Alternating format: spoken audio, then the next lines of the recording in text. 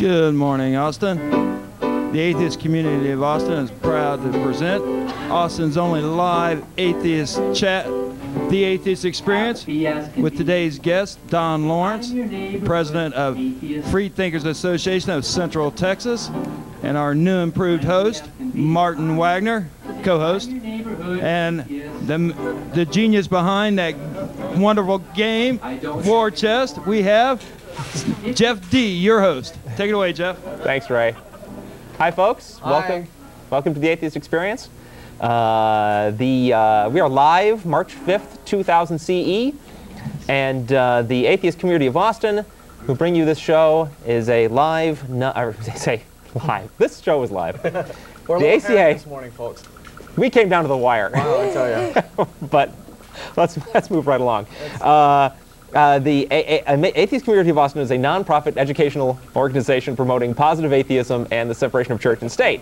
We have weekly meetings Sunday mornings at the Hot Jumbo Bagel Shop, 307 West 5th Street at 10:30 a.m. right after the show, except for the first Sunday of each month when we have our lecture series at 11 a.m. at Furr's Cafeteria at North Cross Mall. Yes, and that's today. Uh, yeah, today being the first Sunday in March, uh, this is a lecture day, and our guest today on the show is Don Lawrence, who will also be our speaker at the lecture. So, uh, welcome to the show. Thank you. Again. Pleasure to, nice drive up here. Pleasure to be with you folks here in Austin. Oh, happy to have you.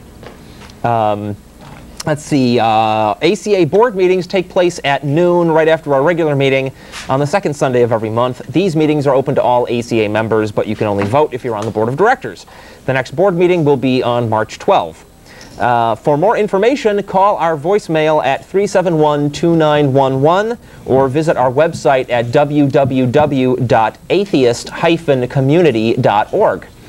This show can also be seen on the internet. Tune your browsers to spring.net.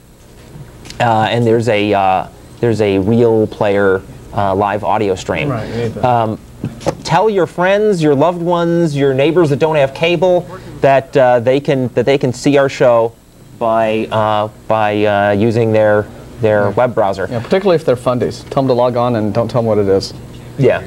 well, Christians of all stripes. Right. Uh, even we like e- talking even to liberal Christians. Absolutely. Sometimes they're more pleasant. Yes. Uh, and uh, can we have the phone number to call the uh, to call the show and get on the air? yeah, let's that's the voicemail number. And Yeah, we have voicemail. Guys, control room. Hello, I'm Control. Hello, Vic. Hey, Ray. Yes, sir. Can we get the phone number for uh, that people call to get in on the air? No, uh, Thanks.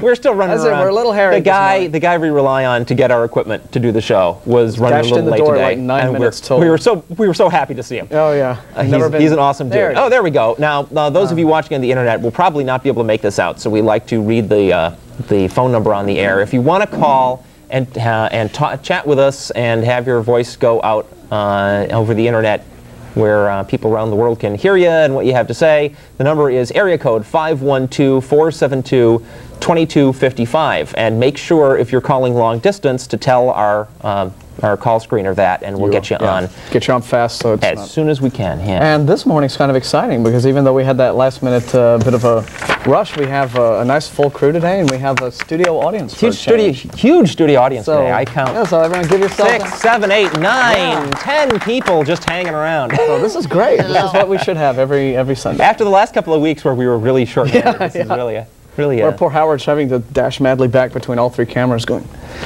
It's a nice change. Uh, so uh, this is the segment of the show where we do our news. News. And Martin, oh, I, th- let me officially announce this because I don't think we, I don't think Ray made it all that clear. Uh, uh, Vic has retired from the co-host position after a uh, excellent uh, couple of months d- uh, holding down that position, and we want to thank Vic for for all his help. He has gone back into the control room, doing what he loves to do best. Uh, and uh, Martin here has uh, was guest host a couple of times and has now been prom- uh, uh, guest co-host. Has now been promoted to official co-host. So, welcome to the show. Thank you for. thank you. I'm happy to. It's a blast. It's a lot of fun to get up here on the air and talk about talk about things that matter.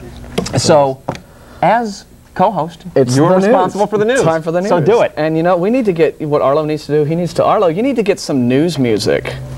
Here Yeah. to pipe in. Oh, if we could do like one of those, uh, those yeah, those like teletype Yeah. machine kind of noises. dun, dun, dun, dun, dun, dun, dun. Do we got that? Oh, no, not yet. No, All right. Okay. We will. Maybe well, next you week. can you can figure it out. I'm sure you you, you pluck sound from the strangest. Something about getting so close to not being on the air at all that I can taste It's just it has just made this a much more exciting show. We have this energy and momentum that is just like a, we got a lot of stuff to do today, so I'll just hit it first. But here is the news. Um, okay, Texas events. Uh, the Houston Church of Free Thought will inaugurate the newest Texas Unbeliever group on March 14th in Houston. The meeting room at the Ramada Plaza Hotel, 7611 Katy Freeway, opens at 10 a.m. for coffee and socializing with the service starting at 10:30 a.m. You won't want to miss this milestone event in the growth of the non-theistic movement in Texas. The Church of Free Thought adopts adapts, excuse me, a church model operational approach to building a community for non-theists that embrace singles, families, and children. There are now five groups operating under the quote Church of Free Thought designation. They are openly advertised as a church for unbelievers, quote unquote. Uh, contact Arthur Fay, and I don't know if I should should I do that over the air? Can we do that? Uh, email we, addresses. Can we give a contact number for that? It's not. They're not a money-making organization, right? What? I'm sorry. Uh, yeah, I was just uh, curious. Well, there's a contact. Uh, the guy's name is Arthur Fay, and he has his email address here. But Go I don't ahead. know if we should we give. Um, Go ahead. Okay. I think that's cool. AFAY, AFA at worldnet.att.net. So if you're interested in that, I have always been a little uncomfortable with their use of the term church, Yeah. uh, but you know, A, a lot, a lot of atheists are, and it's understandable considering how badly we've been treated by churches. Yeah, but and, it- it and- could just and what be a, a- what what a could just be what a a little bad semantic. influence churches have been in our society. Oh, yeah. But I understand what they're trying to do. Maybe it's we just an can- in-joke, We I can. don't know. Well, I, I went up to the North Texas Church of Free Thought thing once. I don't know. Have you ever been up there? I've, I've never been up there. I've heard about them, but I, I can understand. You know, the word church al- is almost anathema. You know, like the the mythical cross revulses the, the vampire. You know, the atheists have that reaction to the word uh, Yeah. to the word church. There have been Yeah. a lot of negative experiences, and I, I understand the sort of gut reaction. You know. yeah, a little nerve-wracking, but, But they are atheists. They're very clear about that. Oh. And uh, and so you know, anyway, it's an interesting experiment, and we'll see how it works out. we will, we will. Anyway, onward with the news. Historical Commission approves lies for Freethinker marker, and this comes from uh, Howard Thompson's uh, atheist newsletter, I presume. Uh, a dateline February 26th. The Texas Historical Commission uh, approved the staff version of the Freiding, Freidenker, and I guess in the original German, Freethinker historical marker for comfort. Comfort, Texas, at the February 25th Commissioners' meeting. The story made the February 27th New York Times. The marker was supposed to honor the German Hill Country freethinkers who came to Texas after the failed 1848 European revolts. Pamela Hodges of the Kendall County Historical Society spoke for the marker. I, Howard, spoke against the marker because it now dishonors Freidenkers. The approved marker suggests the Freidenkers sought freedom to practice religion. It implies some adhered to religious doctrines, or that most adhere to some religious doctrines. The evidence shows the Freidenkers sought freedom from religion. There is no evidence they adhered to any religious doctrines. The THC ignored the letters of historians they consulted. Two historians acknowledged Freidenkers' irreligiousness and mentioned their atheistic tendencies. Professor Walter, Walter L. Buenger, that's a name you don't want to mispronounce, of Texas A&M University. Quote, your encounter with modern religious groups that object to the commemoration of atheists suggests again that understanding and remembering the past is closely connected to the present. Because yours is a state agency, if these religious groups enjoy sufficient political power, they stand a good chance of silencing the history of the German freethinkers. And Professor Walter D. Kamphoefner, on Germans in this ground, of hmm. Texas A&M. Walter D. Kamphoefner said, one of the English definitions for the term freethinker is atheist, but freethinkers' main characteristic is the rejection of organized religion. It is very difficult to get at the inner beliefs of people who lived more than a century ago. Many of the freethinkers were doubtless atheists, but the group likely included agnostics and deists of the Thomas Jefferson stripe as well. In the limited correspondence I have read from immigrants of this settlement, the word God was conspicuous by its absence, even in the darkest hour of the Confederate persecution. The final marker wording was sent to historians for comment and not changed by their comments. So it's a little tempt by those of a religious stripe in this day and age to, to Mm-hmm. And sort political of power. rewrite history, political power. Sure. Um, quick mention of Bob Jones University ending its ban on interracial dating as a result of uh, embarrassing publicity after Shrub Bush have his, made his little speech there. um, you know, I love. who cares? Shrub. You know, yeah. Um, I know Bob Jones University. Any place, any university that whose name sounds like an auto parts store does not, uh, you know, who cares what they do and what they think? They, I, I, uh, it was interesting. Somebody uh, posted uh, on the uh, on our uh, mailing list a snippet from the Bob Jones Wor- University website where Oh. they explain their reasoning. quote reasoning That's a unquote. loose use of the word. underlying this policy that they had against interracial dating. Their explanation was that we don't want the world to come together. We don't want peace all across the planet and understanding between different peoples across the planet because that will herald the arrival of, Of the, the Antichrist. Antichrist. Yeah. Therefore, we can't have people of different races intermarrying because I What, guess that, peace, that would is that- promote understanding between races. And Yeah. we just can't have that. Yeah. That was their rationale. Now they've And they- dropped they said this that the reason and the, the, the reason people who do choose interracial relationships do so because they have animosity towards God and they want to play into the hands of the Antichrist. I rebuke It would- some whites right now in the name of Jesus. Yeah, it's, it wouldn't happen to do have have anything to do with the fact that maybe a black person and a white person might, you know, fall in love with each other. Yeah. Yes, whatever. Do something human and yeah, natural. yeah, do and- something nice. And, and it's, it's important to note that even though they have officially dropped their policy against interracial dating, that once you have a atmosphere like that at a school, I'm sure it'll be a while before people feel comfortable doing that. Well, anybody who and dates at they all have there, they- not dropped their ridiculous belief that somehow peace and understanding among human beings is bad. Okay. Whatever. If there's any reason why any presidential candidate who speaks at that ought to be laughed into, you know, Oblivion. into oblivion, it's because these guys think it would be a bad thing for people to get along. Yeah. Speaking of churches trying to cover their ass, uh, from Paris, the Catholic Church, seeking to cleanse its conscience at the start of a new millennium, on Wednesday it now outlined a framework for seeking forgiveness for past errors without necessarily admitting responsibility for them. the long awaited Vatican document, Memory and Reconciliation, cited just a handful of areas where Pope John Paul II believed the Church had erred, including its treatment of Jews, the Inquisition, and enforced conversions. Quote, We have mentioned a few errors. Errors. To how, yeah, the dead people is a good name for them, errors. But we could have had a very long list. Too long a list. I fear the list will never be finished, said Father Jean Louis Brigues. Brigues? Whatever. One of the experts who advised the Papal Commission that drew up the report. The report, which was written in Italian, is to be officially presented next week. The French language version came out ahead of time because of last minute delays in the Vatican. Catholics around the world are due to mark a day of request for forgiveness on March 12th. One, dozen, uh, one of dozens of theme days the Church has chosen for Millennium celebrations. Uh, and they'll probably find it tremendously easy to forgive themselves, I have a feeling. expect on the Spanish Inquisition? wow, okay. No one expects the Spanish Inquisition. Thank you. I knew that was coming.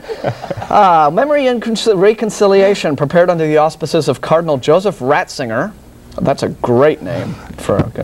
lays the groundwork for that uh, event, establishing for rat. the. Anyway, the Memory and Reconciliation lays the groundwork for that event, establishing for the first time a theological foundation for church leaders to repent of the sins of their predecessors. Quote, the Christians of today are not responsible for the errors of the 19th or 16th century. We are not responsible for errors we did not commit, Borges told a news conference. Uh, we have had to find a way to liberate and purify memory without talking about responsibility, he added. Why? Well, Um, wait, uh, no, I agree with them that let's they're not. stop and they think about- are personally not responsible for those acts. What they are responsible for is perpetuating Oh, the yeah. very belief system The very that organization led and institution. the very organization and the very belief system that led to those acts, m- leaving the door open for those acts to occur Again. again. Um, like uh, you know when they stop being respons- uh, uh, taking responsibility for their own actions. Yes. Anyway, the document, which was laden with quotations from past papal pronouncements, defines three types of forgiveness and makes clear that asking pardon does not necessarily imply guilt. Oh no. Borges said Catholics from outside Europe and the United States expressed discomfort at the notion of atoning for the sins of the dead, making new definitions of forgiveness vital.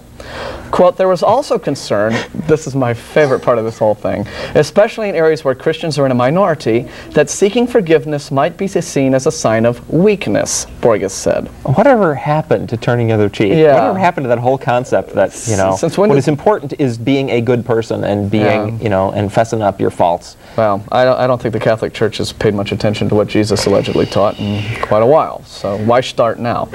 Pope John Paul has said in the past that although the Church's history contained many examples of holiness, it had to acknowledge that there were also events which constituted a counter testimony to Christianity. you know, burning people alive. They yeah, constituted mass murder Yeah, on they an awesome constituted scale. genocide. Let's constituted war. Come on. Don't you know. mince words, fellas. Yeah. Call a spade a spade. He has made it clear that the church would use the new millennium to confront its past and start a fresh phase, detailing previous, quote, errors, memory and reconciliation, lamented relations with the Jews. Quote, the hostility and wariness of numerous Christians toward Jews over the course of time is a painful historic fact, quote, the document said, adding that while some Christians had helped Jews during the World War II Holocaust, others had not done enough. In a major 1998 document, the Vatican apologized for Catholics who failed to help, help Jews against Nazi persecution and acknowledged centuries of preaching of contempt for, Jew- for Jews. I just went on a tear there and ran out of breath. And Can, can I tell a story about Absolutely. hatred for Jews? Sure. One of my favorite stories. You can go in, being from San Antonio, HEB is the big uh, is the big chain there. Yeah, same You here. can go into HEB to this day and buy a candle to light called Santo Niño de Ochoa.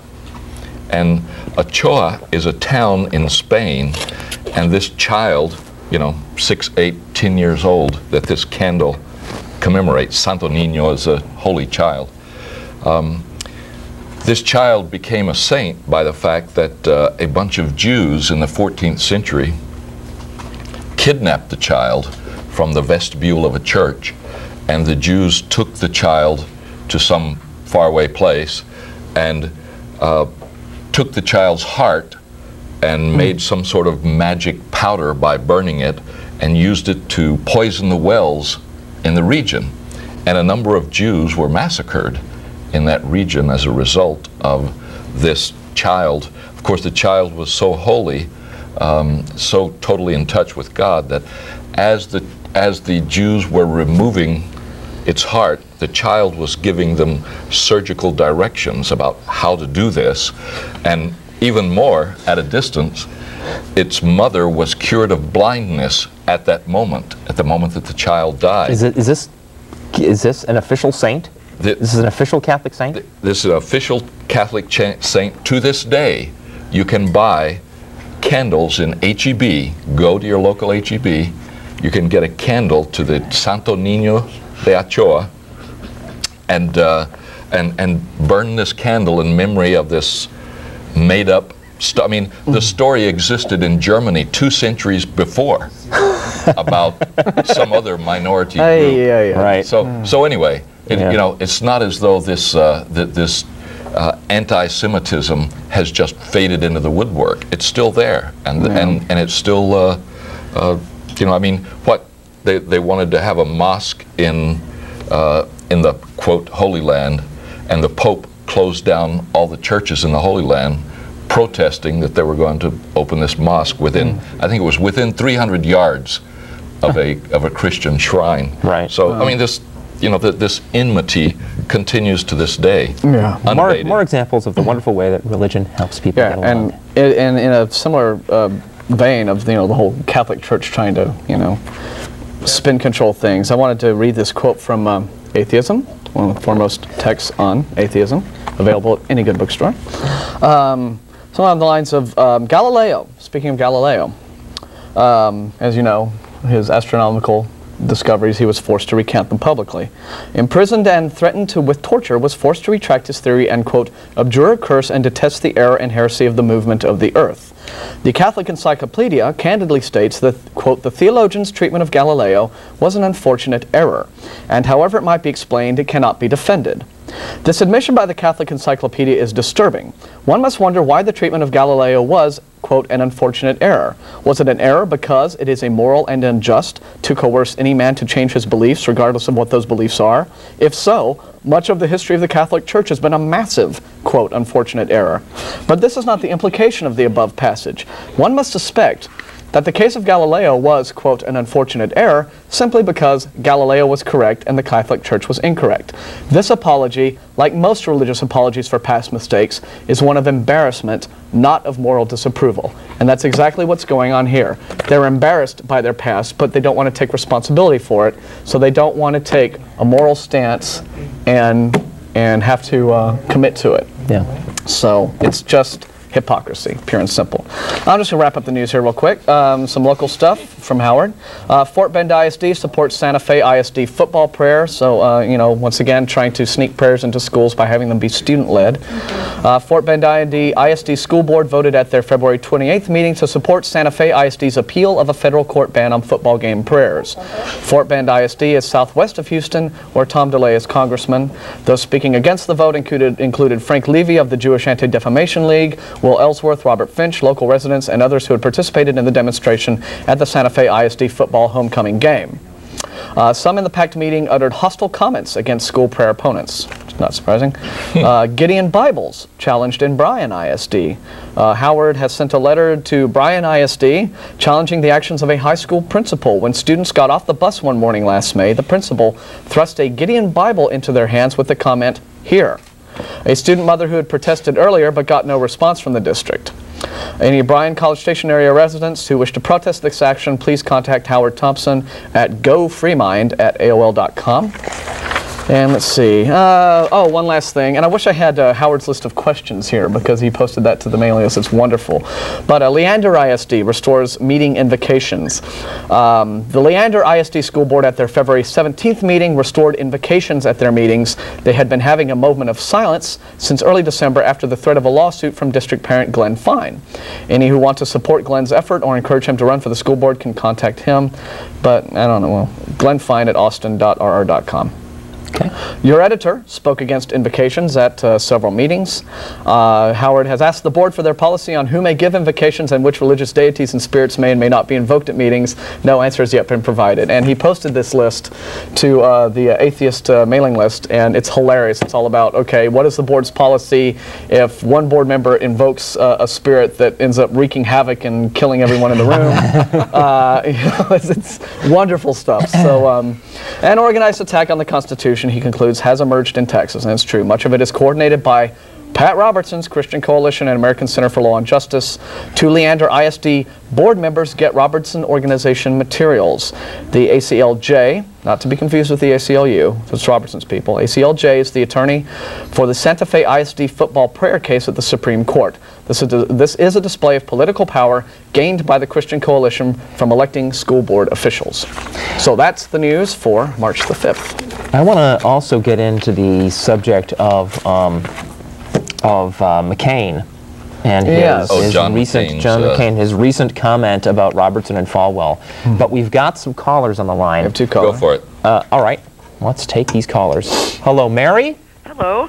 Hi. I wanted to um, mention that the story about the Nino of Atocha that y'all were just referring to, Uh-huh. that's an example of the blood libel against the Jews. Right. It was used for centuries to promote massacres of Jewish people, and it it had no foundation whatsoever. It usually occurred in the form of well poisoning, as as this incident was, or allegations that Jews somehow needed Christian children's blood to make Passover matzos. And I've um, read that, yes. it crops up in the Canterbury Tales. I believe it's the Nun's Tale, if I remember correctly. Uh, and also in the early 1900s, about 1903, 1905, there was an allegation in Russia that was uh, described in Bernard uh, Malamud's uh, novel *The Fixer*, and it resulted the the, the true incident in Russia. Uh, um, it resulted in many, many massacres of Jews. It was it was a terrible thing. And didn't doesn't blood libel, libel also refer to? There's something about the the, the church blaming Jews for somehow um, doing something to the communion wafers. Um, uh, Oh yeah, Yeah, mess- absolutely. messing with the absolutely. communion Ste- wafers. stealing the Eucharist. yeah, stealing the wafer was the same as steel. I mean, Yeah. there's this magic that goes on where the wafer becomes literally the body of Christ. And I think I've seen like Oh, yeah. medieval woodcuts where like Oh, yeah. some Jew is like seen with a knife and he's actually Oh, yeah. stabbing the communion Absolute- wafer and causing Absolutely, it to bleed. absolutely. And it's like, wow, man, what Yeah. kind of weird sick And, stuff and is thank that? you, Mary. That's uh, Yeah. Santo Nino de Atocha, not Ochoa. I misremembered the uh,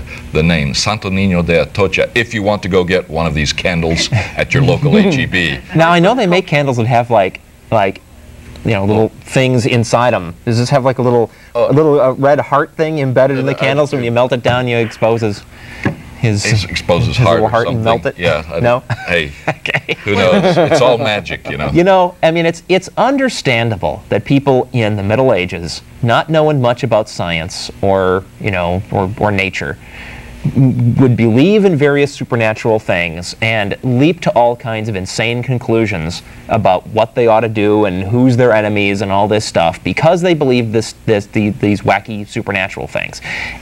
You know, you can excuse people in the Middle Ages for for believing that stuff. There's no excuse anymore. Right. And the problem is that a lot of the uh, insane rationales that sprang from Right. the initial, uh, you know, uh, uh, unfortunate misconceptions Mm-hmm. are still around today, and they've been enshrined as like traditions. Oh yeah, supernaturalism is absolutely rampant in North America. Oh, but- well, Yeah. In, in Western uh, Western Yeah, Hemisphere we've in become particular. probably more embroiled in it than we were 200 years ago. Did you have something else, Mary? Yeah, speaking of insanity, uh, there's actually a Roman Catholic priest named Father Nicholas Gruber who's been running around North America for many years uh, uh, publicly objecting to the policy of giving Roman Catholics Holy Communion in the hand as opposed to directly on the tongue because he thinks Satanists are stealing the hosts and taking them away to be used in some kind of awful, ungodly rituals. And that's a big deal for this guy, huh? He's walking around loose. Anyway, keep up the good work. Bye bye. All right, thanks for your call. And uh, Mary, if you're invited to uh, the lecture today at Furr's Cafeteria, Yeah, we want to remind Hall everyone that. Uh, at 11 o'clock if you'd like to come. yeah, down here will be our speaker, and your subject is going to be. Uh, as a matter of fact, America's supernatural curse will be the subject. America's supernatural curse, um, how to free America from sin and launch the second renaissance. Now, what kind of sin are you talking about? Christian sin. How do we get? How do we get? Oh, okay. How do we get free? The sin of being a superstitious, Yeah. blithering idiot. Yeah, yeah. what could be worse? How, do- how, how do you dismiss the monsters under the bed? You know? How do you Right. get rid of sin? Right. No, you don't. We have a new issue of Skeptic, and I'll hold this up for whomever wants to zoom into it. Uh, this is uh, a great magazine that anyone of a uh, atheist or skeptical bent should be reading, and it's available at any good magazine rack. And actually, I saw this. Um, this is usually, like I said, I, I get this uh, various places, but at Barnes and Noble at the Arboretum near where I live, I know we're not supposed to. I'm not. I'm just saying that uh, they have their magazine racks split up into categories, like they have their book racks, and uh, this is usually in the science rack. And this issue was at the very front of the religion and New Age section, which I thought was wonderful. So, either that was a mistake, or somebody on the staff uh, has a, a very shrewd sense of humor. Um, but uh, Well, I'd hate for skeptics to miss the magazine because it's in the section that they don't go to. Uh, yeah, but maybe the people who really need to read Skeptic will find it for a change. But uh, Uh, I want to get back just for a second to um, to the whole sin issue. Sure. I mean, this is probably not going to be relevant to what you're talking about today, fine. but um, uh, uh, there was uh, I, I'm a frequent contributor to the alt atheism news group on the internet, and there's a uh, there is a theist who posts to alt atheism. Um, like a question a week, uh, uh, you know, asking, trying, uh, pretending like he really wants to understand atheists, but really stirring us up and pissing, pissing us off. Troll. And uh, his, his latest question was why do atheists get so upset when people bring up sin? And I, and I wrote a response to that. I said, it's not the concept of sin, you know, the idea of, of sin necessarily that makes us upset. It's, you know, uh, atheists are quite willing to discuss questions of morality and ethics. Absolutely. And, you know, and are, and are serious about that. The Absolutely. problem is that sin relies uh, is a concept that relies on the existence of a supernatural lawgiver Absolutely. whose existence has not been proven. So as soon as you start linking uh, moral and ethical rules to the, you know the dictates of some supernatural entity that you can't even prove exists, we're not upset because you're talking about you know uh, uh, moral questions. We're upset because you're an idiot. So uh, And let's also, take it, another call. it bears it bears mentioning that sin was a concept I think that was specifically introduced by the priesthoods. Yeah. Uh, in order to inculcate guilt in the followers. When if you can break down a person's self-esteem and make them think that simply by the day-to-day act of living, they are committing these horrible crimes for which they can be tortured for eternity. Once you have terrified them enough. Um, particularly in matters like your sexuality, Absolutely. uh, then that makes them emotionally vulnerable for your religious indoctrination. So- Absolutely. Uh, let's go to Don, who's been held on the line for a while. Hi, Don. Hello, how are you? Good. How are you? What can we do for you? Well, you know, the errors of the Catholic Church, which they're admitting just to uh, some errors, uh, how about the pedophiles that are in the, ch- in the church? Uh, good point. Yeah. And they're they're actually, and it's not just the Catholic Church too. There seems No. to be a recent outbreak among like, wasn't there some sort of Baptist uh, Yeah. camp in San Marcos? Oh, yeah, but uh, the uh, cardinal in Dallas said that uh, the boys should have known better. Uh, it wasn't the priest's. I love that, don't you? Blame the oh man, blame, Blame the, the victim. victim. And oh, let's and let's let's secretly scoot this priest off to another parish where you know nobody will know his sordid past, and we don't have to admit else. that he did anything. That's right. Right. There was a news story a few weeks ago that uh, we were too busy on the show. I didn't get a chance to read it, but um, it was basically the Catholic Church's statement on that, which boiled down to, yes, we admit that it's happening, but you know, it, we think this is just a sad example of you know what's wrong with people in general, right? Missing the fact that a recent study showed that uh, pedophiles are like you know 500 times 500 percent more common among the priesthood than among the general public. Yeah, well, you And the- know, here. And this is even given that just is even given just the ones we know about, right? Not the ones that they've managed to to Hide. to hide away. Well, here's another statement. They keep saying they uh, homosexuals shouldn't adopt kids, but homosexuals aren't the ones that molesting kids. It's the priest. It's these Yeah. religious people that are. Uh, it's not. It is not the homosexual. And also, uh, d- uh, addressing that specifically, it's it's known that most uh, the, the Christian homophobic crowd uses that as, as part of their gay bashing agenda, but Yeah. it's known that uh, the majority of child molestation cases are made by heterosexuals Yes. and, Absolutely. and specifically family members. It's usually like an uncle or a father molesting the daughter or that Yeah. sort of thing.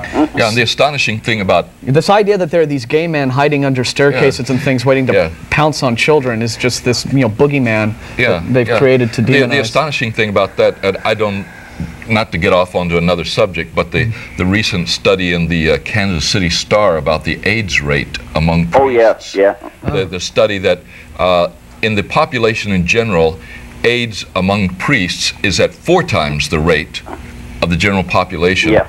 I don't know Maybe what that's what the story I was. I think that was the story Yeah. I was That might been. remembering. I and, and the other misattributed it. thing, the other thing was that I don't know what it is about Kansas that attracts, Wow, yeah. but there there's something in the air, Toto. You know uh, that, that the All those uh, doggone tornadoes. yeah it's the, They've been the dropped on their heads AIDS rate among priests in Kansas is seven times the national rate.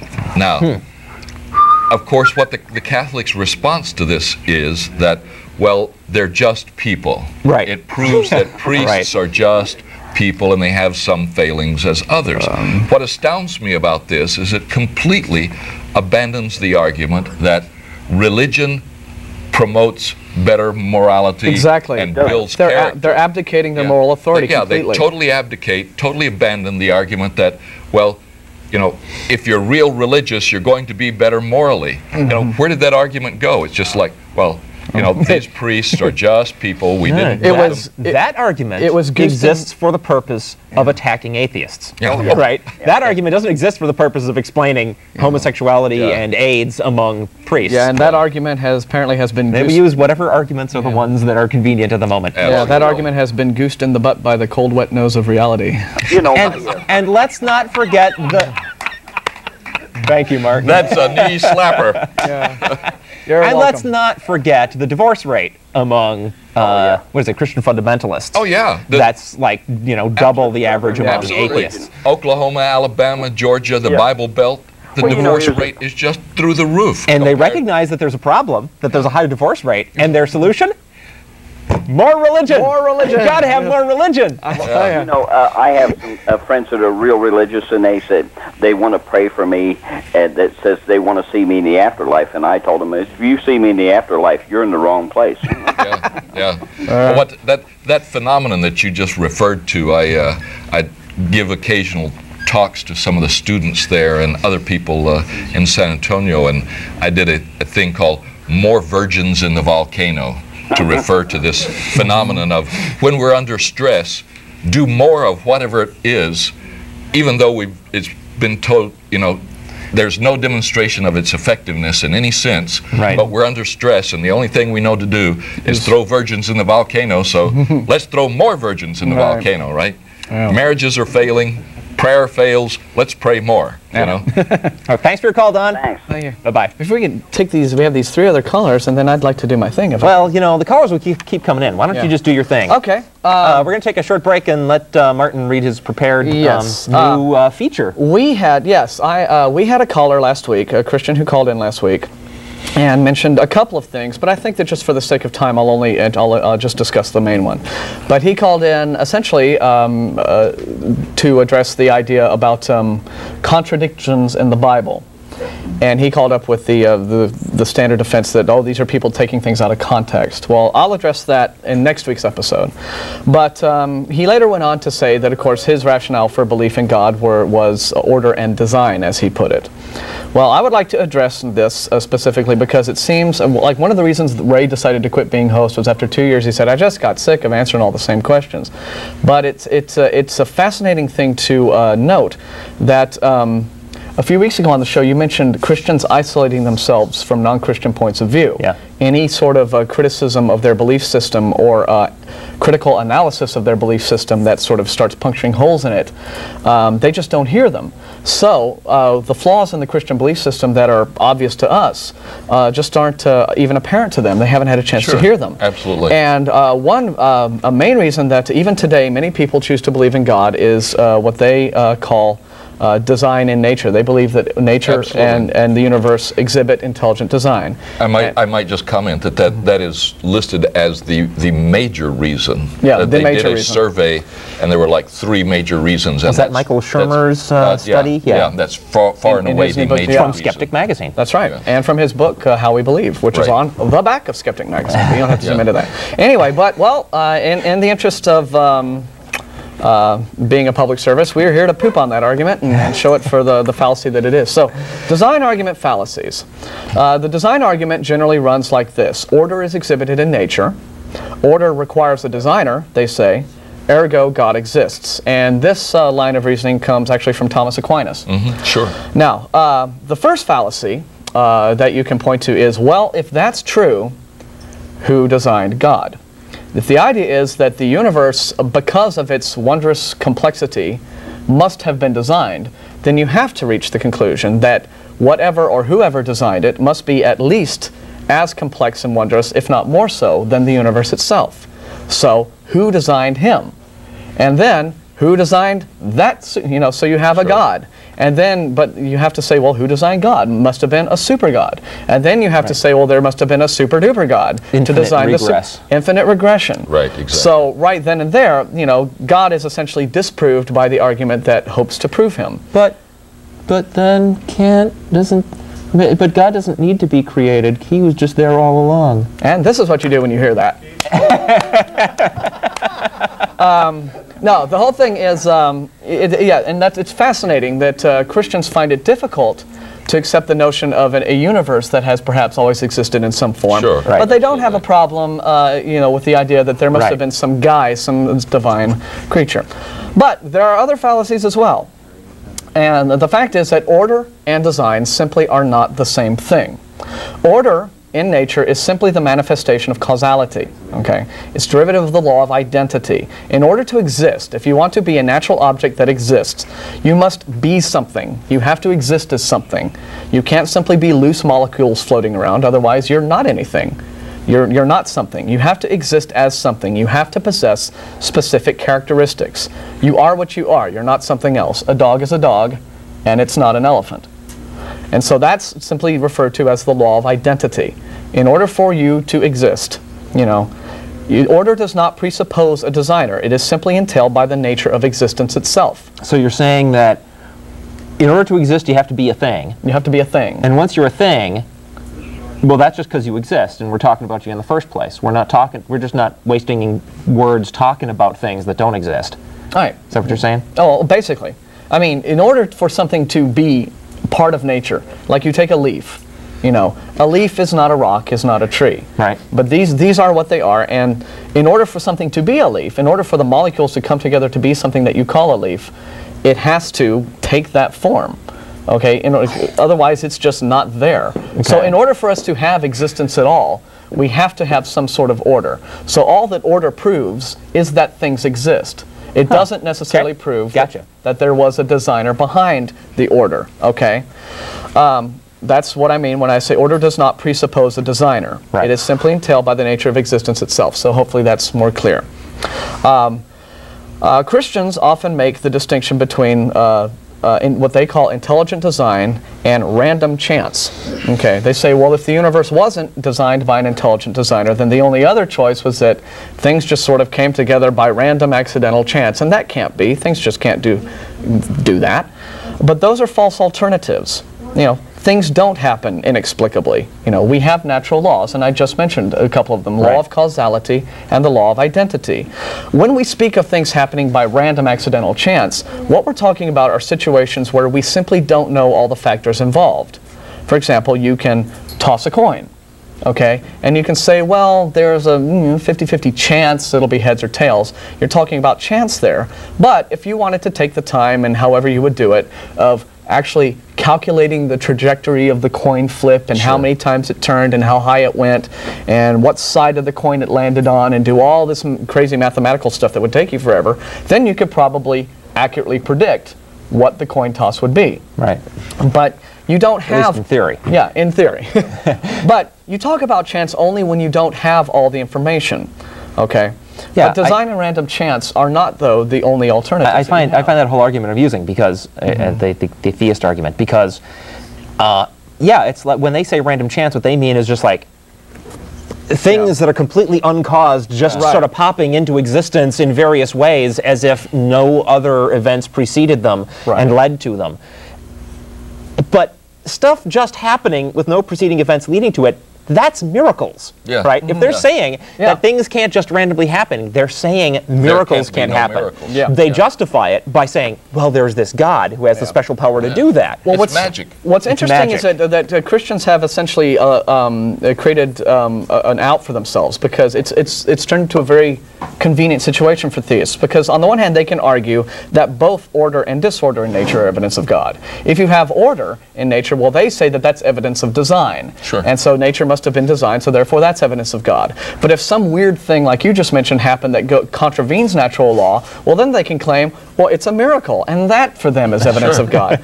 So they've kind of created, um, you know, a situation where they can have it uh, conveniently have it their cake and eat it too. But I want to read a, a quote Now here. that's a miracle. That is a miracle. But uh, I wanted to read a quote here once again from George Smith to once again back up uh, where we are on this and what you guys were just talking about, where they say he says the real alternative facing us in the design argument is between natural necessity and supernatural caprice or whim. Uh, according to the naturalist, you know, guys like us, the universe exhibits order because order is one aspect of existence. The two are inseparable. According to the theist, the universe is inherently unstable and chaotic, but God, an unknowable being, somehow glues it together using unspecified unknowable means. Once again, the choice between naturalism and supernaturalism is a choice between reason and magic. And a little bit earlier on, he, he asked the question exactly what does the theist imagine the universe would be like if it was not guided by a master planner? What would a disordered universe be like? What would an acorn do? Grow into a stone, perhaps, and then into a theologian?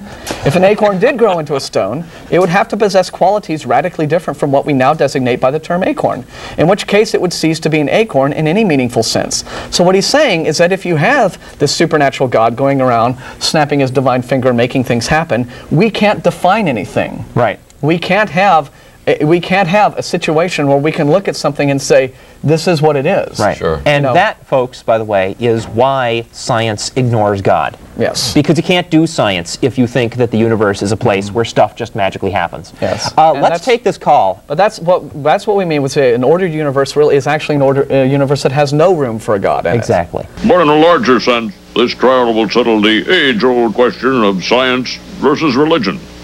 As for science versus religion, I'm issuing a restraining order. Religion must stay 500 yards from science at all times. Let's take uh, Charlie. Charlie? Good morning. Hi, Hello. thanks for staying on the line. No problem. And we're sorry for the rest of you. Please call back if you like. Yeah, we lost a couple of callers during that. Go ahead, Charlie. What, can we do for you?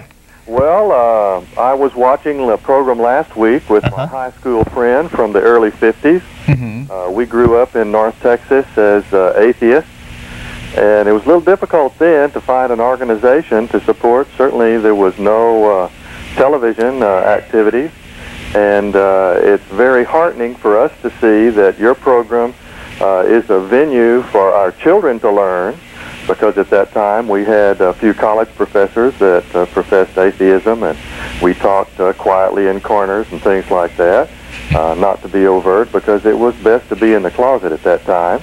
Yeah. And uh, again, we want to express our support and thanks to your organization. Uh, what a change 50 years makes. Oh yeah. Uh, my friend Don, uh, correction Dan in Oklahoma, is on the net with us today. okay. I'm so happy that uh, the net uh, situation got connected for you because now we can contact all our 50-year-old friends and That's older, wonderful. uh, and let them know that there's a program and uh, an out for our children to be able to learn uh, the expose that you just gave about uh, reason and unreason and uh, supernatural things being explained for religion and science. And we really appreciate the show, and we will continue to support with our donations and with our membership. Well, thank you. Thank you very That's much. We appreciate your support. You look That's real good wonderful. today. That that phone number again for long distance callers who may be watching us over the internet is area code 512-472-2255. Call that number and talk to our our call screeners and uh, let them know that you're calling long distance and we'll we'll try to get you on the air. Get you on right away. All right, thanks for your call, Charlie. Thank you. Appreciate it. Bye-bye. Take care. Uh, and okay, um, I'd like to just put the cap on um, once again my design argument fallacies discussion by saying um, also that in my view, uh, you know, if if the universe was designed, you know, my view is we've got a bad designer at work, folks. I mean, first off, look, at it- look at it this way: we are we have a solar system with nine planets and well over what two dozen or three dozen satellites, and only one of those planetary bodies supports life. Right. Why the Yeah. waste? Why all that? Why all that? Uh, Yeah. Those? Why those? Uh, all those wonderful planets going to waste without life? So it doesn't make sense. Not to mention the untold billions and billions yeah, of galaxies. not to mention all those, but just in our own solar system, you know, why the? So it doesn't it doesn't strike me if there is intelligent design.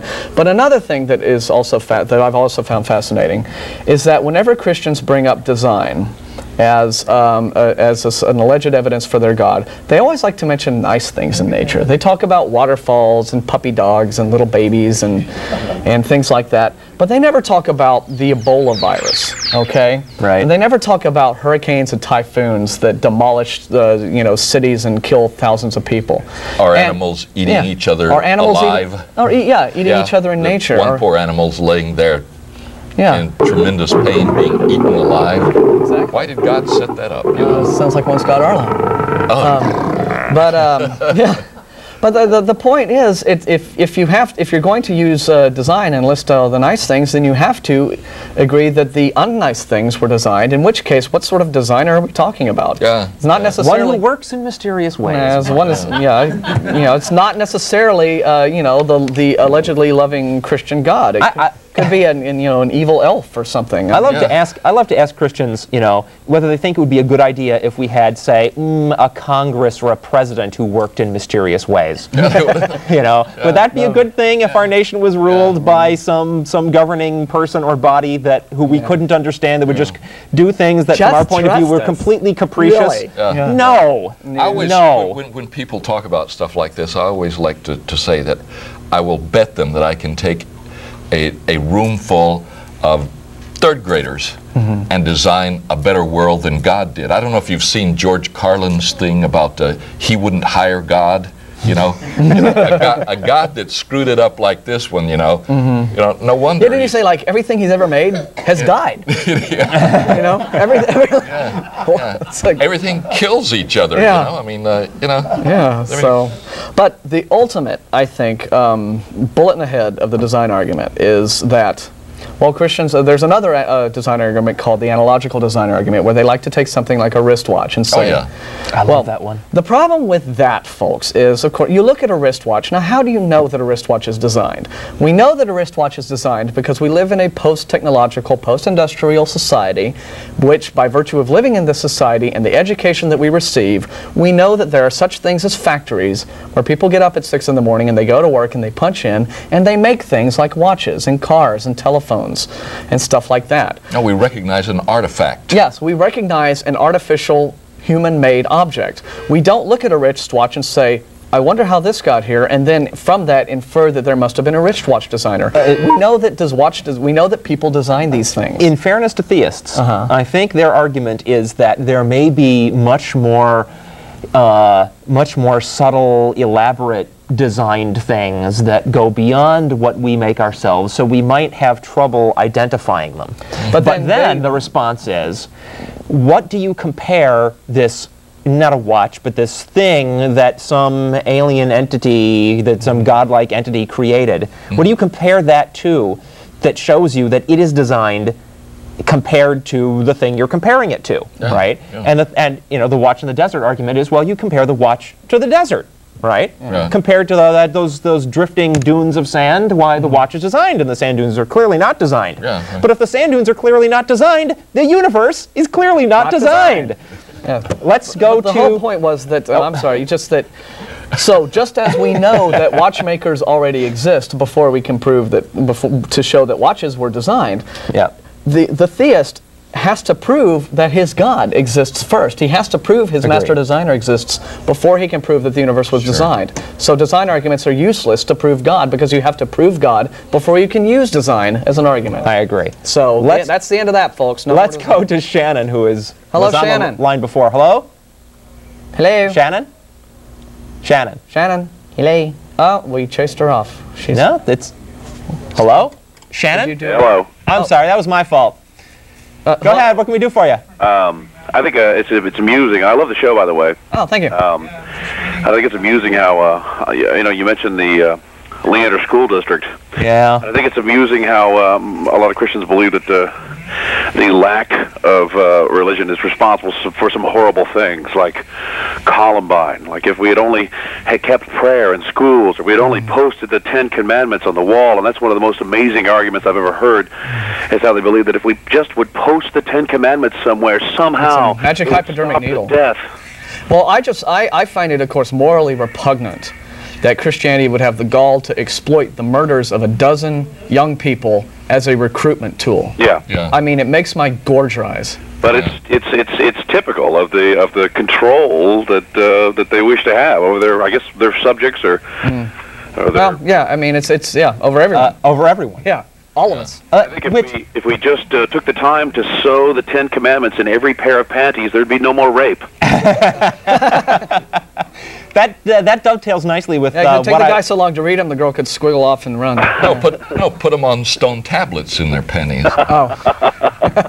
Yeah, I mean that's that's the equivalent of um, you know defeating vampires by putting garlic in their their uh, in their coffins. Yeah. You know where that that whole thing, whole garlic thing, actually comes from? No. The original the original folktale was that it's the seeds, the garlic seeds, that there's so many of them that the vampire obsessively has to count all the garlic seeds, and it takes him all night, so he never gets up. That's that is where the whole garlic thing came from. I did not know that. I never heard that one. You learn something every day. But this on this show. dovetails nicely with what I wanted to say about the whole McCain. Um, uh, He you know, garlic seeds. No, no, no. Oh, no.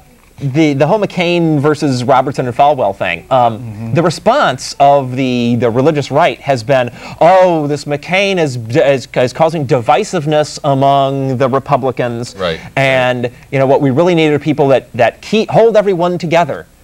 Well, read between the lines. What are they saying? What they're saying is what we need in the Republican Party is to make everybody not just Christians, but Falwell and Robertson style fundamentalists. We need a Period. demagogue. That is what they are saying. Yeah. They are saying that in order to have a political party, everybody needs to get on board the Robertson and Falwell bandwagon, and that's just repugnant. Yeah. They're two of the scariest people I've ever. Agreed. Yeah. Yeah. And I, I just want to I want to publicly thank Bob, uh, Bob John. McCain, John McCain, John McCain, for yeah. shooting himself in the foot by going public with this because yeah, he was So you right. still don't he like could have. McCain, so- No, You think I don't he's like the McCain. Manchurian candidate? For Yeah, he's the Manchurian, Manchurian So who do you like, Brent? They're flip I don't. I don't think I'm allowed to Hearts. say who I like, but Well, I do. I want to thank McCain wouldn't be because McCain could have beaten uh, uh, other various other candidates, and I don't think Bush can. So Wow. it's, it's perfect. Not only did he go public slamming Falwell and Robertson, but he's also gonna hurt the Republican Party, which is which is okay in my book. Me too. Hey, Oh. thanks for the show. I appreciate it. Thanks for calling. Bye bye. Uh, we have another caller online, but I wa- I got a Rapture report. Yay! We haven't done a Rapture report in a while. It's been a little, you know, after all that, the pile of them that that uh, that went bust uh, at the uh, turn of the uh, Millennium. of the. Well, it hasn't been the turn of the millennium yet, of course, but the, at the at the rolling over of the three big zeros. Yeah. By certain calculations. We haven't had much in the way of, of Raptors predicted, but they're starting up again. oh boy. Um, a lot of people uh, hedge their bets, thinking that that uh, that uh, maybe they could maybe they could come out on top by They by not. recalculated or what? Well, there there are people that, that predicted for slightly after the the roll rollover to begin with. Anyway, here's what we got. Um, uh, March 12th, which is uh, e- exactly a week from today, and the day on which the Catholic Church is going to apologize for all that stuff they're not responsible for. Oh, so they timed it perfectly. Boris Romanov and Albert Timoshev claim to have discovered a repeating pattern of 54 days and 44 days between lunar eclipses that they claim is linked to major geopolitical events. The next such event is set for March 12th. That's a week from today. Of course, they also predicted such an event for September 17, 1999, which apparently we missed. oh darn. Sometime during March, the rapture is to take place, uh, according to Marvin Byers, uh, calculating this for some reason three and a half years after Christ's second coming. So I guess Mr. Byers thinks Christ, Christ returned three and a half here. years ago. Why? Why three and a half years is not explained. Hmm. Um, and I, I've, I've, I've sort of backed off from doing this so often, but uh, we're going to do it again today. I've got the whole list of the generic predictions that are supposed to come due, predictions of apocalypses and raptures and various other loony things. Look, S- a just message. generically, sometime in this year. Huh? Go ahead, Arlo. A message. The end will come at sundown. Wait a second. I don't like the sound of that. Sometime in 2000, the beginning of Christ's millennium, according to some Mormon literature, such as the publication Watch and Be Ready, preparing for the second coming of the Lord. The New Jerusalem will descend from the heavens in 2000, landing in Independence, Missouri. Hmm. Well, I guess that's a, a handy book for, for people who still have all these leftover Y2K rations that they. Uh, 19th century mystic Madame Helena Petrovna Blavatsky, founder of Theosophy, foresaw the end of the world in 2000. Hmm. Even Sir Isaac Newton was bitten by the millennium bug. He predicted that Christ's millennium would begin in the year 2000 in his book Observations upon the Prophecies of Daniel and the, and the Apocalypse of St. John. Hmm. Ruth Montgomery predicts Earth's axis will shift and the Antichrist will reveal himself in 2000. Ah. The establishment of the kingdom of heaven, according to the Reverend, Reverend Sun Myung Moon. The second coming, followed by a new age, according to famed psychic Edgar, Edgar Cayce. The end of the world, according to Lester Sumrall in his book I Predict 2000. One of the earliest predictions for the year 2000 was made by Petrus Olivi in 1297. He said that the Antichrist would come to power between 1300 and 1340 and the last judgment would take place around 2000. I don't know where this, uh, you know, s- nine, seven, nine hundred year old Antichrist is creeping Yeah. around, but he has apparently maintained a very low profile. a bit long in the tooth. I mean. According to an American Indian spiritual leader, Sun Bear, the end of the world would come in the year 2000 if the human bra- race didn't shape up. 18th century So I fire. gotta get to the gym, quick.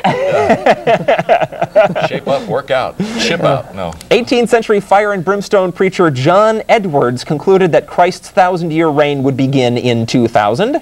The world we, will be devastated by AIDS in the year 2000, according to Indian guru Bhagwan Shree Rajneesh. Afterwards, the world will be rebuilt by a peaceful matriarchal society.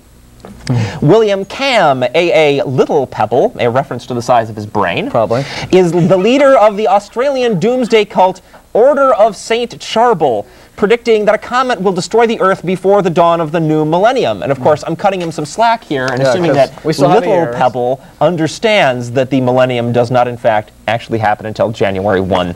2001. Mm-hmm. Members of the Stella Maris Gnostic Church, a Colombian doomsday cult, went into Colombia's Sierra Nevada mountains over the weekend of July 3 to 4, 1999, to be picked up by a UFO that would save them from the end of the world, which is to take place at the turn of the millennium. The cult members seem to have disappeared. Perhaps they were picked up by aliens. And once again, we're cutting these UFO lunatics some slack and assuming that they understand the millennium is until 2001. a radical apocalyptic sect emerged in, the, in 18th century France called the Convulsionaries. That's a good the name for. Convulsionaries. One of the members, Jacques Joseph Duguet, anticipated the Parousia in 2000. Uh, and yeah, that means second coming. I looked it up. 2000 2001, please. no, Ray. Ray is our official Millennium dogmatist. we'll have to abide by the 20. It's a number, and I don't say 2001, Ray. I say 2000. Um, I, and I, I should say 1,999 99. is what I should say. And uh, I'll tell you what, I'll promise to switch to that. Yes, we'll all Uh, do that. Martin Luther looked at 2000 as a possible end time date before finally setting on 1600. No, 1,600. Oh, 1600. Technically, this prediction is already a failure, but it's such a big, fat, obvious one that I thought it was worth repeating. Yes, very good one. A Vietnamese cult, lead, a cult headed by Ca Van Liem uh, predicted an apocalyptic flood for 2000. But doomsday came much earlier for the cult members. He and his followers committed suicide in October of 1993. That's, well, forget it. And that is our rapture Our report. Now, I want report, you all, everybody in our viewing audience, to keep your eyes peeled for these uh, impending apocalypse. If the end of the world happens, let us know, because we might I hate sleep to in. disappoint you, but the world is not coming to an end. Thank you, Lisa Simpson. Yes, she knows these Uh, uh, indeed, it is not. And but the point is, the point is that these scare tactics are not about warning people of really real impending apocalypses. Oh. These scare tactics serve the purpose of frightening people into the pews to cough up their dough. Right. That is exactly what these are about. you guys are such cynics. I know, where do we get it from? I just. Uh, I will. I'll be happy to admit that I'm a cynic the instant you can show me that I'm wrong. All right. maybe it's Let's justified. go We've to got some phones lit up. Yeah, it's not cynicism if it's the truth. Yeah. James. Hi, James. Morning, gentlemen. Hi, what can we do for you? Uh, watched the stove for a few weeks. I'm only 22. Uh-huh. I have to agree with you guys for a while. I never thought none of this shit would even be true or anything of that nature. Until by chance, I happened to look at the the um the combination of our horoscope, the Asia horoscope, and Revelations, and it still tripped me out that it appeared to match a history of our planet from beginning to end. And I still was in denial and what have you. Yes, no, blah blah blah blah blah blah. However, when I started noticing the mathematics everywhere, you know what I'm talking about because I've seen you smile. And I'm still really inexperienced in it. However, I know what, what I've seen. You know what I'm saying? All the mathematical combinations between all, all the sites you know already know about Egypt and South America. Blah, blah, blah. But anyway, I, We're not actually not quite we're sure not, what we're you're- not following you, but go Yeah, ahead. we're- We're not getting all this, but keep you, going. you know y'all know about the mathematics already, the pi shit. I am No, aware. no, I am aware aware. that that it is a favorite pastime of some people to play with numbers to try to get them to come out ways that seem meaningful. No Yeah, doubt. it's it's seeking ye shall find. And it's But I- I- numbers I wasn't games. It doesn't mean that, anything. actually. I was calling to see if you guys could have any kind of comments on the fact that, um, as far as our horoscopes are going, we're in Scorpio. Uh, After that, all we got is Capricorn. I was trying to see you guys had any comments on that as far as the events Yeah, that were yeah astrology is completely stupid. Yeah, astrology. That's my comment. Astrology is a load of hooey. Yeah, I, I thought the same until I started seeing all this shit. That was plain as day. And I'm not, you know what I'm saying, the most intelligent person. what do you mean plain as day? Here's, There he now is. let me explain right. to you how astrology works. This is how I, this is how I seen. it. I'm watching, watching a documentary one day, right, about Greece. All of a sudden, I'm starting to look at the um at the at the horoscope, and you have Cancer. Then right after Greece gets gets fucked up, they have. Uh, dude, they we're have- gonna have to we're gonna have to cut you Oh, up. I apologize. I yeah, the apologize. language. That's yeah. Anyway. Can't have that on the air. If it happens again, we'll have to cut All right, you I, off. I apologize about that. Anyway, right after Greece gets destroyed, you have Libra, which is democracy. Then all of a sudden, it starts to fit in as a timeline. I don't know what you're talking I- about. I- I'm I wish I'm could just show not- you. I'm not what I know, you. what I know is that there are studies which clearly show you can write up an astrological chart for anybody and write Yeah, up no what it no what it predicts. Let me finish. All right. Write up what it predicts for that person and hand it to other people. And odds are anybody you hand it to is going to say, "Wow, that's so accurate." Because what's really going on is people are interpreting, okay? Mm-hmm. They are interpreting things to be meaningful that aren't. But see, these seem weird. It seems like each astrological sign. Yeah, what you need to do is learn that just because something seems weird does not mean that it's meaningful. But it matters too much for it to be coincidence. It doesn't No. say things. How, are, it doesn't. are you Do you reaching under- that conclusion? Are you are you looking at it in hindsight and saying, "Oh, as, this um, matched something"? Because that is usually what people tend Tell you what, there is a I'm guy, talking there, like- there like is a there's a like- famous skeptic, James Randi, who has a million dollars for anybody who can prove to him that and that astrology can accurately predict anything that or that any of a wide range of other paranormal phenomenon are really real and actually happen. Okay? but it- but it- Go it- talk to him if you think that you've got proof. If you don't have proof, I'm going to tell you that what you're doing is you're just interpreting stuff to and it, it seems meaningful to you, but it's just it's just numbers games. Well, he- But, but here's but it's like it's by coincidence that, that each horoscope sign matches about a period of two seals in Revelations. You know what So I'm what? So Yeah, they had astrology that's in ancient in ancient Israel. they had astrology back then. Who brought the, who brought astrology first? The Actually- pyramid makers. no, the priesthood actually brought No, astrology. they didn't bring astrology first. Yeah, that's, The, the They brought- Babylonians long pyramid- before. yeah. The, it was the Babylon. Actually, astrology yeah. had its origins in Babylonian and, and ancient Sumer. Yeah, long, long, Then- long before the back about there, back about four or five thousand years And ago. then when so and then when when those people came, they had to clean it up. Of course, they already had them lining up their pyramids to so, to solaces that weren't even you know saying inside our horoscope now today. uh, we didn't get any of that. I'm sorry. Anyway, I, Here- I wish I could talk like I really would like to. However, I just want to share some kind of. Uh, a- astrology is completely and utterly stupid. Yeah, it's Okay, not- I'm it has sorry. no basis I'm in- sorry. There's no basis in reality. The obstetrician, when you are born, exerts a greater gravitational force on the on the infant than any of the planets in the solar system except for the Earth. But here's really the okay? only question it's that you need. utterly stupid. The only question that you need to a- ask about astrology. He's gone. Yeah. he had- the only question that you need to ask about astrology is, does it do what it claims to do? Caller, are you still there? Yeah, I'm still. Okay, I'm sorry. Wait, I'm there's still- Does their it do what lights it are out on claims the to do? panel here. Does astrology, by virtue of looking at the stars, accurately predict human death, the destiny No, of individual humans? Those, and the those, answer those is are not no. the means. The What? answer is no. I don't think that was the reason why he gave us the horoscope. Just to Who? Who What gave- who who gave gave us us the- the horoscope? no, who, uh, I can't say who gave it to us originally. I'm talking about the person who came and cleaned it up. Cleaned person it who up. came and cleaned it up. What do you mean? Cle- why did it need cleaning up? I thought it was like this, like Yeah. special mystical uh, They- they- insight Uh, into it, was everything. gave, it was given to us by the, by the pyramid makers at first. pyramid, Pyramid makers. You mean the You know what ancient? I'm you You mean mean the the you mean the guys who were hired that lived in little huts at the base of the pyramids and were paid in bread and beer to build the pyramids? You mean those guys? No, I'm talking about the spirit behind it. The Person- spirit, the spirit, behind and it. you What, have what ev- is a spirit? and- Well, I don't know who the spirit. I, You I- have evidence that this spirit exists? yeah, man, it's everywhere. It is? Everywhere. Okay, uh, show us some evidence The right now if it's everywhere. All right, the same mathematical structures out of Greece, such as the ones that constantly got destroyed again, that pop back up over here in our country. The same. what do you mean the same mathematical structures? What do you, yeah, what do you mean? mean by that? You know the build- the ones that's, that, that, that, the one that's on, the, the one that's on our money right now. The same ones that were that were in, they were in Athens.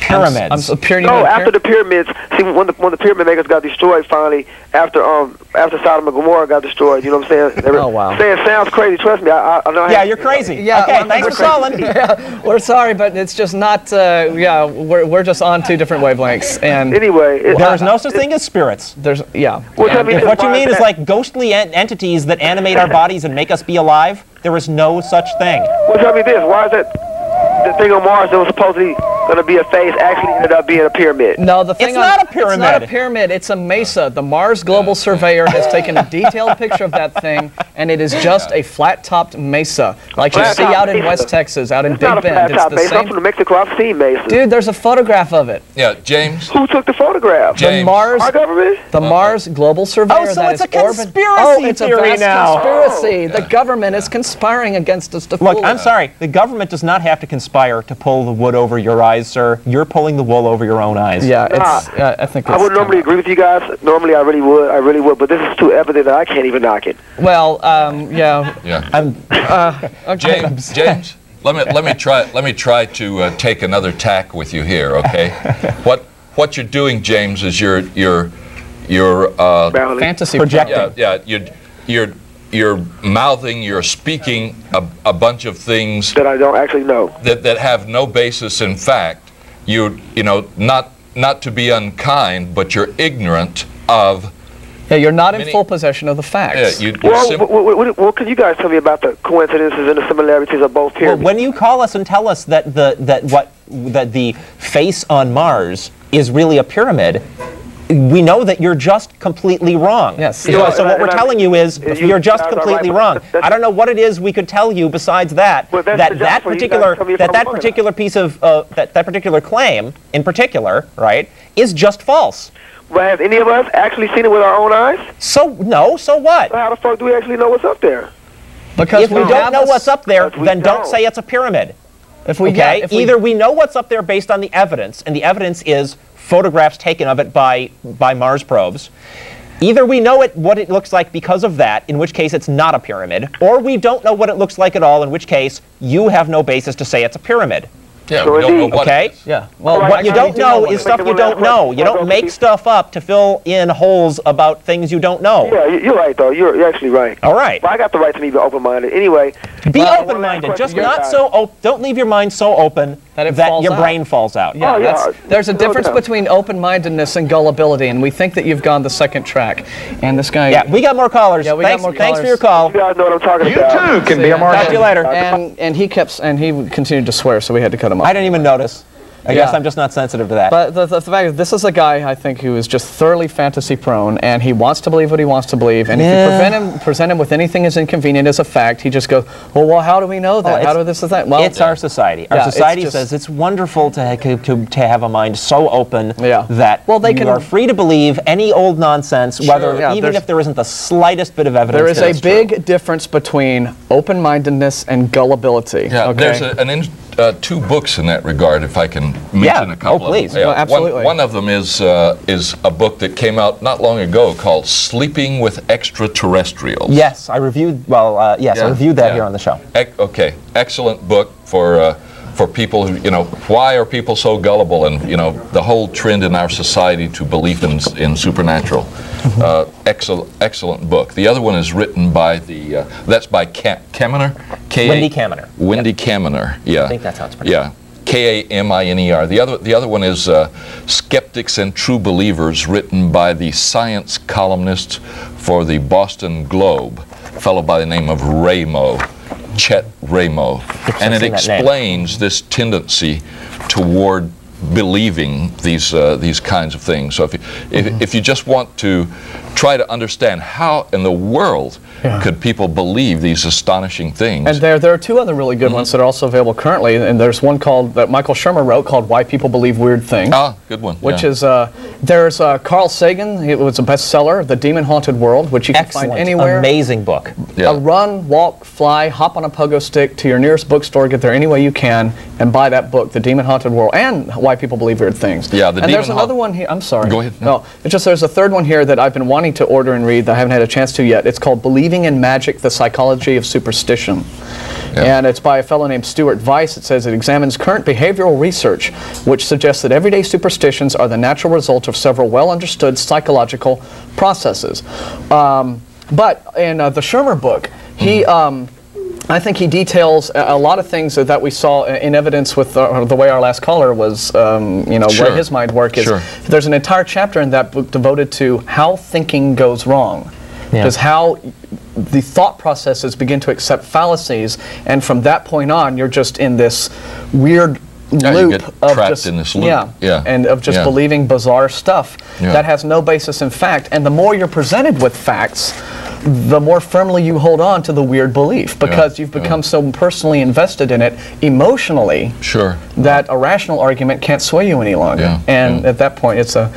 But the whole thing about astrology, uh, Isaac Asimov has a, has a great book that I want to donate to the library since it's done called The Stars and Their Courses, Mm-hmm. uh, in which he talks about, he opens up uh, talking about, ironically, astrology started out in the ancient world as the best science. The they- best science available. they, yeah, because They, they first they were looking at the sun and the moon, and they thought, okay, well those things affect us here on Earth because of the tides and the sun, the crops and growing from. Mm-hmm. So maybe the other stars and heavenly bodies affect us otherwise. So they, that's how they came. That's how astrology was invented. The guy was, uh, who we just talked to, was Yeah. trying to talk about. That's how astrology was invented. But as science progressed and as human civilization progressed, and we began to learn more about how the world works, those false ideas Sure. got discarded. They were no longer necessary because we learned that they were wrong. Sure. Let's So- let's try to take uh, the rest of our calls Yeah, before we run out of 15 minutes to go. So hopefully that settles that. Amanda? Hi. Hi. You know me. Yes. How are you? This is my wife, Amanda. Hi, hon.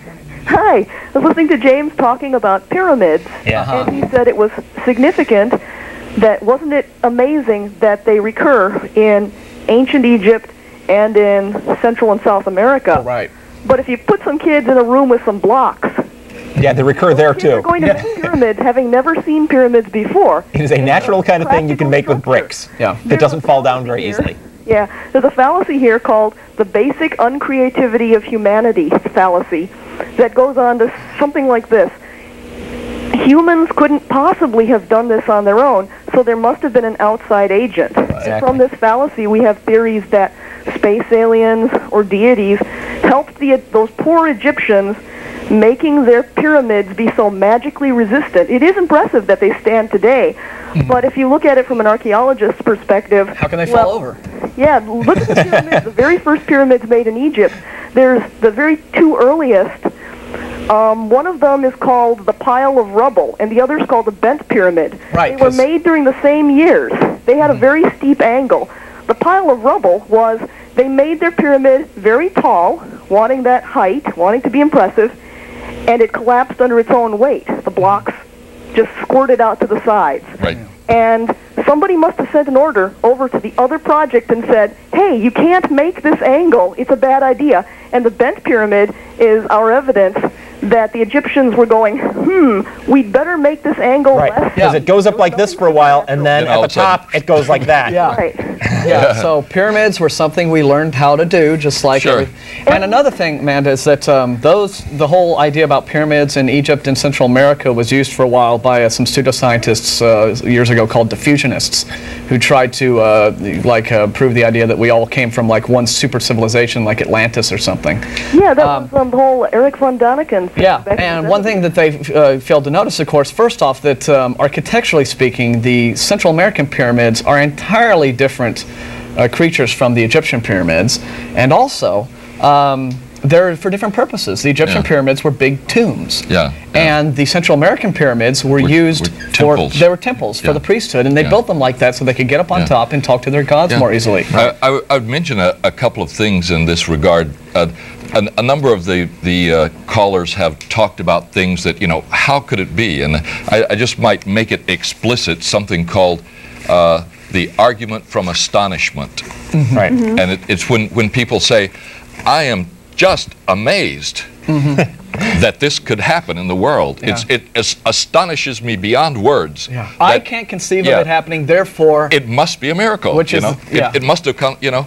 And so, that, I mean, there, that's called egotism run rampant. yeah, yeah. You, you just don't uh, don't recognize that just because it astonishes you Hmm. does not mean that it came from supernatural source. It just means that Right. yeah. What what you don't understand is is you can't say anything more about it than you don't understand it. Period. And all these problems stem from people trying to fill in those gaps in their understanding by making stuff up. Yeah. The the other Thanks thing for was uh, thanks for call, hon. Do you have Uh, more? Yeah, one more thing. Okay. Well, I want people to stop being impressed by big numbers. For the week, there was a one in about six billion chance of you being you. You're a miracle. You're not a supernatural miracle, but you are a miracle. Yeah, aston- Right. Yeah, yours. If you want It's to the if you wanna wonder of miracles nature. as unlikeliness. That's it. Yeah. All right. It's the wonder of nature. Bye-bye. Bye, everybody. Uh, I have a. Did you cut that lady off? No, she said How goodbye. dare you? Um, Yeah. Uh, yeah, yeah, hang on, Neal, Neal. I've got something more that, that uh, relates to what we're talking about. This is an article from the Statesman uh, two weeks ago, February 20th. Yeah. Making child's play of math and science, new evidence bolsters case for turning from rote learning to the inborn drive for discovery. You New- hold that up so they can? Uh, well, this is what it looked like, but it's not like this well, paper nice- is still nice out there anymore. There's a picture picture of a, of a little girl, and she's doing science with bugs. Are we going to zoom in on that? Uh, I guess Should I hold it? But um, I guess we're zooming in. Okay, But- that, this is the article. Let me read my article. all right. Sorry, John. I just thought it would be. New research on the brain and learning is changing old notions about how to teach children science and math.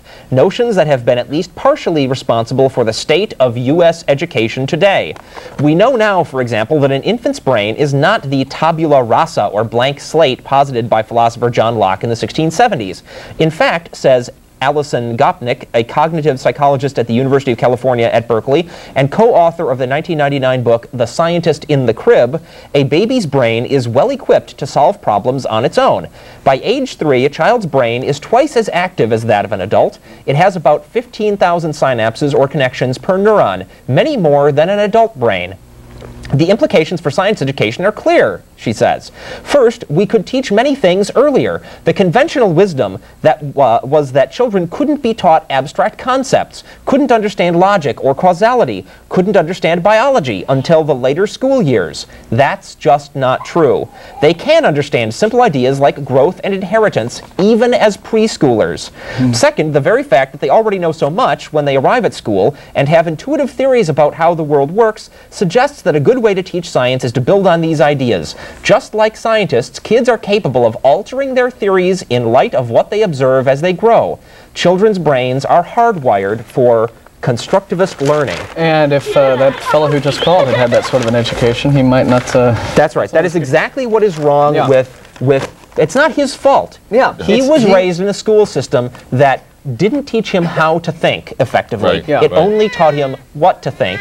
And in, in the fact is, rote Not- learning not even that. is Yeah. tends to have an edge beyond which it's inaccurate. Yeah. Yeah. And so uh, a person who doesn't know how to think properly grows up, uh, uh, wi- you know, having been equipped with some with some rote knowledge, then they notice that that rote knowledge is not absolutely perfect, Yeah. And they're then suddenly they're cut loss. loose. They're at a They're at a loss. They have no idea what to do next. They start making stuff up. Sure. Sure. Because it looks to them like the people who told them what was true and what was false in school just made it up. Sure. They were never taught how knowledge is arrived at in the in the first place. exactly. Absolutely. Makes So. Yeah, uh, there's there's a thing that I some thinking that I did on that subject, and I came up with this idea. Two two things. Humans are hardwired. I think kids start asking why right away. We're hardwired to to ask Right. why. Right. But I think there's a point. You mentioned you get to an edge where things don't work. I think there that humans, like some animals, are hardwired with behaviors that, at a certain point, become dysfunctional. You mm-hmm. know, I've seen birds that fight their own image in your window glass on your house. Mm-hmm. When the sun's at a certain angle and they can see themselves in the window, they start fighting their own image, you know. I mean, territorial protection has survival value, but there's a point at which that hardwired behavior becomes dysfunctional. And I, I really, my personal theory is that the, that may be where God came from, the idea of God. We kept asking why and why and why and why and why. There's a point at which why, in a certain sense, becomes dysfunctional. There's no why. We're just here. Period. Let's go to another call. Take Neal finally. Neal, Yeah, hi. thanks for hanging on the line. What can we do for you? No problem. Um, I have a sort of general statement of my position and then a question about atheism Okay. in general Sure. that All right. I would like to put open to discussion. All right. Um, I'm a pretty devout agnostic, if the oxymoronic phrase works together. Um, and uh, for my particular take on aliens from outer space, I would say reference the Zappa tune Inca roads. um, uh, but I guess my question is um, something that you pointed out to the uh, misguided, albeit entertaining caller who, who had the uh, questions about pi and astrology. Yeah, we live for Again, those I would guys. say reference Inca roads. Um, my question to you is this: um, You pointed out to him, or you pointed out in reference to him, that uh, uh, there is a a big difference between knowing how to think and being told what to think. And my question about atheism is this: um, that my take on it has been that it's not that considerably different from organized religion in that it's taking something that we don't have the tools to measure and assigning it a value. And of course, say a Christian, for example, would say there's a God. Yeah. And an atheist, for example, would say there isn't a God. And my thought on that whole matter is how does how can anyone claim to have the evidence of yes or no being that it's sort of by definition a unknown and b unknowable Well, I'll, I'll address that. Um, first off, you have to understand that in this argument, the burden of proof is entirely upon the theist, because it is the theist right who is. show me show me that No, no, God. no I, I want to get. I want to go directly to your question, though. Okay. I'm sorry, Uh, and I'm glad you brought in Martin brought in atheism: the case against God. The author of this book, uh, George Smith, uh, established definitions for atheism and agnosticism that I think are very useful. Yeah. Yeah. Sure. Uh, he drew a distinction between agnosticism as a statement about the possibility of knowledge and atheism as a, sta- as a statement about belief. Okay? I do not contrast atheism and agnosticism. I'm, I am, uh, in some senses, both an atheist and an agnostic. Right. I am an agnostic to the extent that I think certain definitions of God are not provable, but I am, an, I am an atheist to the extent that until it is proved, I don't believe it.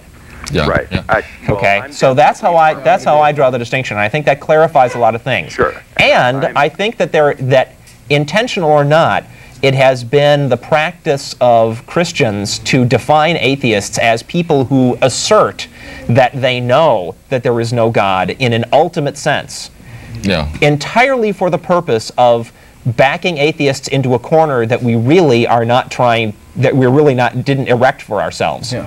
You see? Yeah, and it, I, I think there's a m- maybe a more plain language for me, a more plain language distinction, namely that a, as a matter of formal logic, you know, it's impossible probably to prove that some supernatural thing does not exist. By its very nature, it's supernatural. You can't get hold of it. Right. And as a matter of formal logic, you cannot prove that it does not exist. And as they mentioned, the burden of proof is on the people who claim that this supernatural thing does exist. But if you want to take from a formal point of view to say, well, uh, I'm agnostic, I can't prove that he, do- he doesn't exist and I can't get a hold of it, that's fine. But as a practical matter, you know, what are you going to do when you get up in the morning?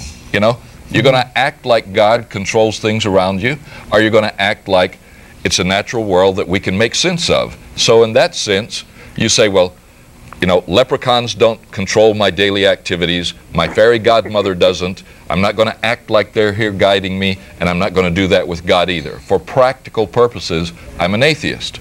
So a distinction there. And I would and I would uh, add to that by saying that um, you know, yep, there may be a God, but but the reason that I would call myself an atheist more so than an agnostic is because specifically when you refer to, for example, the Christian God, going back to the fact that Christians bear the entire burden of proof for their God, well, because absolutely every argument for their God that they have presented us with has been thoroughly refuted. Sure. Therefore, as far as Christianity is concerned, Sure. or any of the other world's other established religions, I'm an atheist because I think that it can be shown that the arguments for the gods of those religions are faulty. Now, in yeah, terms of their- internally inconsistent Yeah. and and, Now- and and self-contradictory. in terms of there being some uh, some supernatural being that we don't know of yet, well, I'm entirely willing to float that possibility. But until credible evidence for its existence comes into play, I see no reason to uh, to uh, live my life as if that were even a relevant question.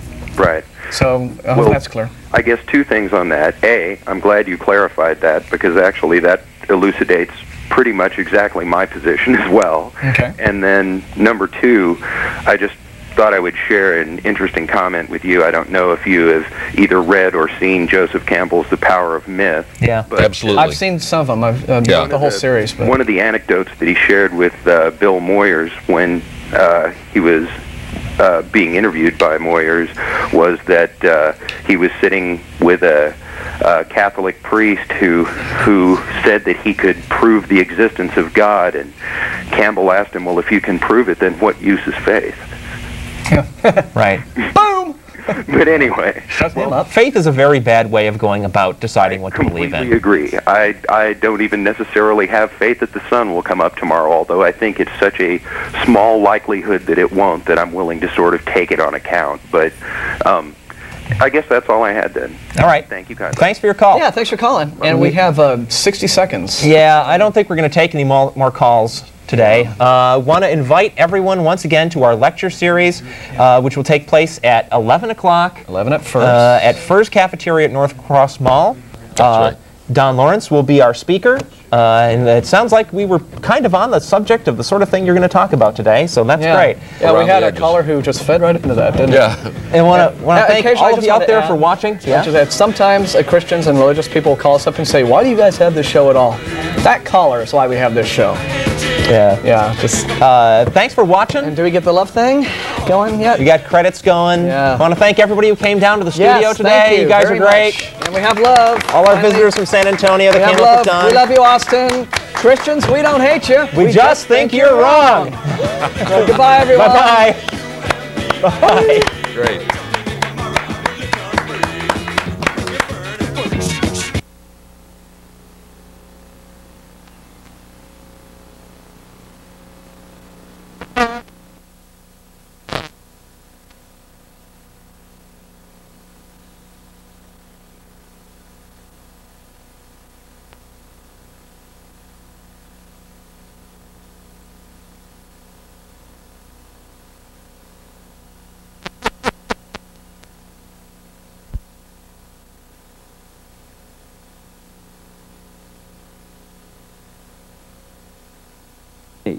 They're saying, well, this is me, but I hope it's acceptable to you. Please nod. Don't, don't, don't, don't, give me a hard time because, you know, I, you know, I want you to give me approval for what I'm saying. And, and, and it's the fear of what other people think of them. That's what the fear of speaking in public is. And it's an all-pervading fear because most people are in that fear. When you're saying, right, I have a right to be me. You know, so many people say, we all have a right to our opinion. What we forget is so do we. And um, when you speak your truth without looking to the audience for approval, because you're saying, well, they have a right to believe it or not believe it, but this is me, the fear of speaking in public absolutely disappears. You can speak to 10 people or 10,000, it doesn't matter, because you're not looking outside for approval anymore. So how the audience reacts is, there, is, is, there, is up to them, not, not you. And I think if people um, can, can get into that mode where they feel they have a, a right to their opinion, and if other people don't like it, well, that's okay, but they have a right to their opinion. You start breaking the cycle. And what I say to people is let the fear, um, let the fear be the trigger that gets you through the fear. So if you're sitting around in a group of people and the conversation's going in a certain way, and you're thinking, well, I'd really love to say this, but oh my goodness, what, what will they think if I say this? Just say it. And if you want to do something because, and, and, and, and you think, oh, well, how, how will people do if I, if I do Just do it. Uh, let, as soon as the fear emerges within you, just say it, just do it. And it's amazing. When I was a goalkeeper in soccer, the worst um, half an hour of being a soccer player was sitting in the dressing room waiting to start because everything that could go wrong was going through In your, your bloody mind, head. yes. You get out on the pitch and do it, you do it. And, and you think, what was I bloody worrying about? That was okay. And it's the same with this. Um, you think about, oh, what if I say this? What will people think of me and all that stuff? When you do it and you walk through that, you, it's amazing how easy it is. It's the fear of doing it that's the barrier, not actually doing it. I mean, I've, had, I've been massively ridiculed in Britain um, when I spoke out of the norms. Um, and yet, look I at want me. to ask you about that in a second. yeah, but look at me. I mean, you know, you, you come through it. I, I think we've both had similar experiences. We were talking off camera. When, when I've spoken to audiences and given them some truth, and you can see the recognition dawning that things were not as I thought they were. Yeah. Uh, there is a massive amount of manipulation going on in our society, and I've been the victim of it, and so have other people, and people begin to wake up. There is this situation that they feel afraid to express themselves about it, just as you are saying. Right. And I think it goes back to this idea of speaking in public. And it seems to me, and I can't document this, but